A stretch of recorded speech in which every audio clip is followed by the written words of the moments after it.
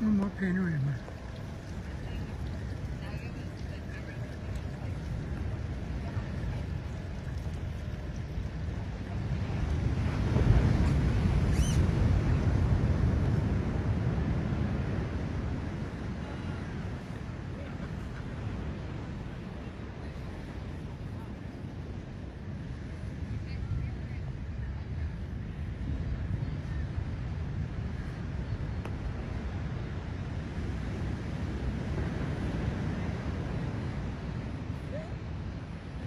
The Seinfeld's getting my bumblebee bike.